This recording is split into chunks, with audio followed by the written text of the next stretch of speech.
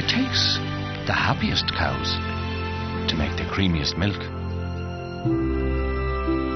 And it's all in the taste of Kerrymaid.